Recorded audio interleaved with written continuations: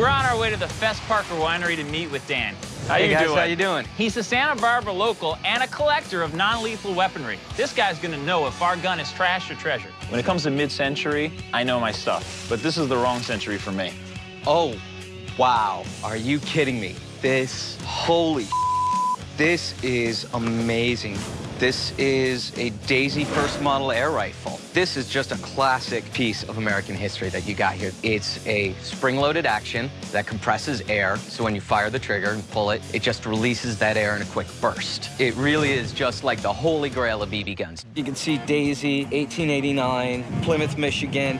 See, originally, the founder of the Plymouth Windmill Company, they made iron windmills, came up with an idea for a wire-frame air gun. Now, the president at the time loved the idea and fired it and uh, said, wow, that's a daisy. That was a colloquialism at the time for that's really cool. So the name stuck, and they decided to manufacture them as a promotional item to give away with windmills. Can't believe that these were actually made as a promotional item. This really started the air gun revolution. Does that actually shoot a BB? Actually, what they originally shot was bird shot from a shotgun shell. Oh, crap. And the size of it was BB. That's why they got the name Yeah. BBs. Was this the first one ever?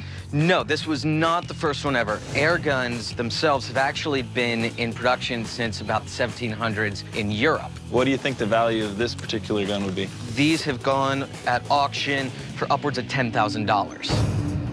Yeah, like I said, this is a classic piece of American history. I'd say somewhere around maybe 20 of these currently exist. One of 20. Absolutely. I cannot tell you how much I want to walk away with this thing today. 10 grand worth of want to walk away with it? Not 10 grand worth. In the condition it's in, as long as it fires, I'd say probably around seven, five, eight grand. I'm scared to sell you a gun that I might be reading about five years from now, hearing that you sold it for 20. Okay, I can understand that. How's this?